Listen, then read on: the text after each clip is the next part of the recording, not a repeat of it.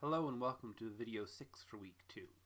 At the end of the previous video, I talked about the need to measure the accuracy, the error in an approximation process. We use Taylor polynomials to approximate complicated functions so we can actually calculate values for them. But then how do we know how good our values are? This is a whole branch of mathematics in, and of itself in calculating approximations and figuring out error. We're going to give one theorem that describes how to control the error for Taylor series. So what exactly do I mean by error? So if we have a Taylor series on some radius of convergence, and we'll always have to work with inside our radius of convergence, we truncate our Taylor series like we did in the previous video get, to get a Taylor polynomial, which is an approximation to our function. So in this case, I have a polynomial of degree k. Instead of going to infinity, I now go to k. So I get a polynomial and I can think of the error as what's ever left over. So if I take my whole function in its, in its entirety and subtract the approximation, then what I have left with is the sum starting at k plus 1 and going to infinity. So I still am left with an infinite series.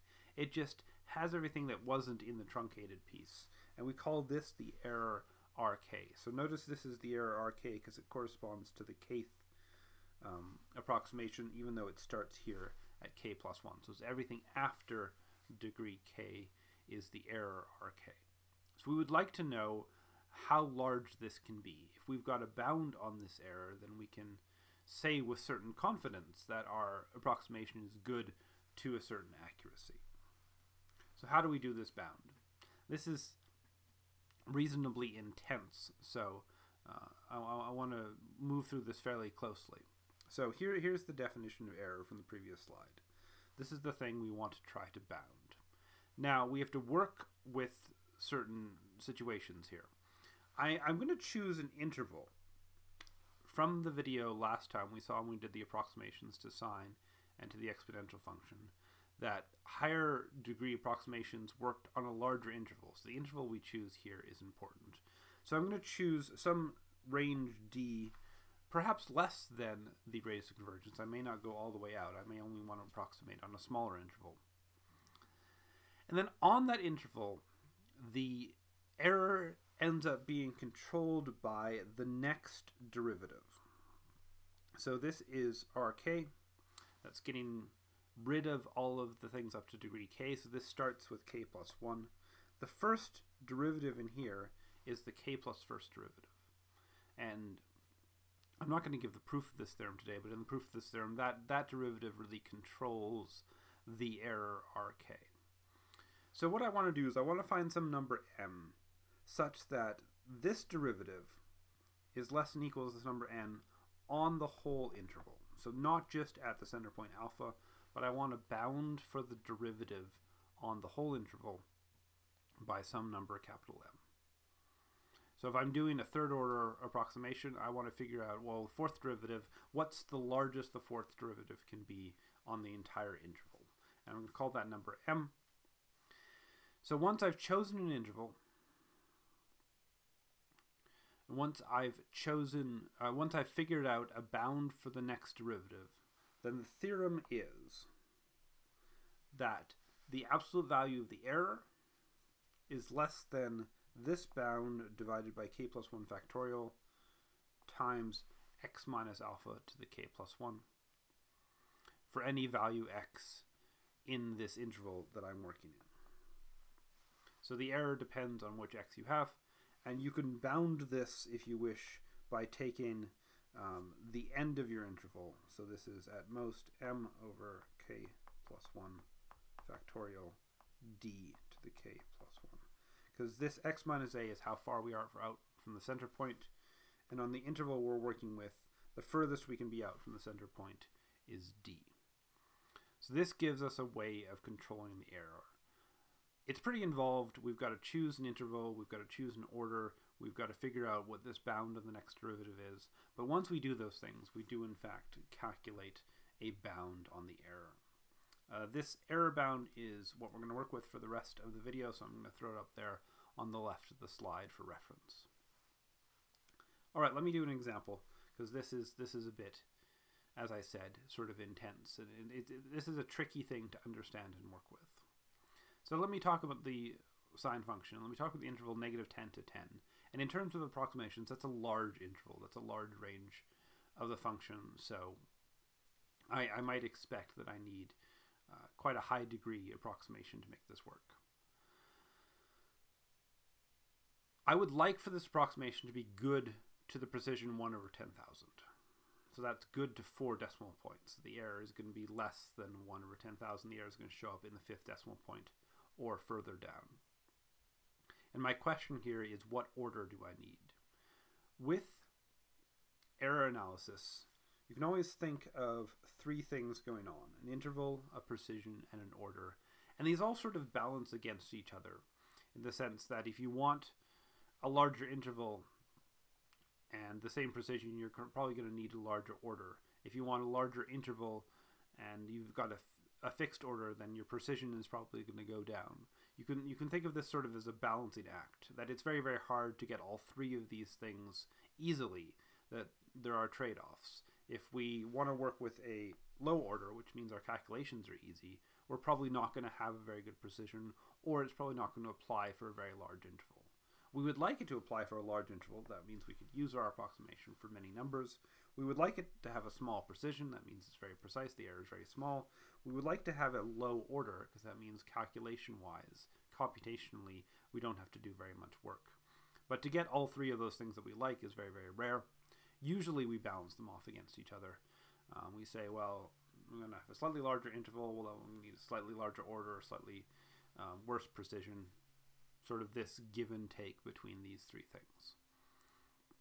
With the theorem, which again I've written for reference up here, if we know any of these two things, we can use the theorem to try and calculate the third. So if we know the interval and precision we want, the question here in this example is what order do we need? So I'm trying to figure out what k should be so that this error is less than 1 over 10,000 on the interval negative 10 to 10. I could have said, well, if I want a certain precision in a certain order, what interval does it apply on? If I want, if I have a certain order in a certain interval, what precision does it have? So given any two of these, I can calculate the third with my theorem. All right, in the theorem, I have this number capital M, which is a bound on the next derivative. One of the reasons that I decided to start with the example for sine is the derivatives of sine are sine, cos, negative sine, negative cos, so forth and so on, in a repeating pattern. And all of these are bounded between negative 1 and 1. So I can take, for sine and cosine, m to be 1, because no derivative of sine and cosine anywhere in the real numbers will be larger than 1. Sine and cosine are all bounded between negative 1 and 1. So m is a bound on the absolute value of the derivative. I can take m to be 1. So it's a really nice situation for sine and cosine. For other functions, figuring out what m should be on a particular interval for a particular uh, order for a particular derivative can be a lot of work. So I'm sort of skipping a bit of that work for this example. All right, so I know my interval, I know my precision that I want. I want this error to be less than 1 over 10,000, 1 over 10 to the 4. Um, my center point alpha is 0 for the standard Taylor series for sine centered at 0. I want a interval from negative 10 to 10, so the largest the absolute value of x can be is 10. So, and I want, as in the previous sl slide, I want m equals 1, or I, I, can choose rather m equals 1 is a good choice for the sine function. It bounds all possible derivatives. So, I'm trying to figure out when this expression with m equals 1 and absolute value of x equals 10 when this expression is equal to or less than 1 over 10 to the 4. Now, this is not something I can solve directly because I've got n in a factorial and in an exponent. I don't have any techniques for solving to pull n out of both a factorial and an exponent at the same time. So I'm just going to do this by inspection. I'm just going to try things. Um, and I'll, I've done all the calculations by computer in advance. 1 over n plus 1 factorial, 10 to the n plus 1. And let's sort of see what they look like if I start with uh, the fifth order approximation, the error bound is basically meaningless. The error bound is huge, so I have actually no control over the error. So n equals 5. The fifth order approximation from negative 10 to 10 is basically useless. It's, uh, it's nowhere near accurate enough to work with. So let's let's keep going. If I have the tenth order approximation, well then this is still quite a large number. That's not very good. If I have the twentieth order approximation, well this is a smaller number, but this is still a large number. The error is bounded by twenty. That's pretty useless since the value is between negative one and one. So let me keep going. Once I finally get up to the 30th order, and again I'm calculating this thing, just putting in n equals 30. So this is calculating 1 over 31 factorial times 10 to the 31. Here, finally, I'm getting a bound on the error. I'm getting that the error is less than 0.0012. That's still not less than 1 over 10,000. Um, the error here is, is in the third decimal point. Um, that's not good enough for 1 over 10,000. I need the error past the fourth decimal point for 1 over 10,000. But I'm getting closer. Um, if I go to the 32nd approximation, well, now I have an error that's very, very close. This is 116 over uh, 10,000. So this is slightly larger than the error I wanted, 1 over 10,000. And finally, when I go to the next order, here I now have four decimal places. The error is in the fifth decimal place. This is an error that is less than 1 over 10 to the 4, um, 0.0001.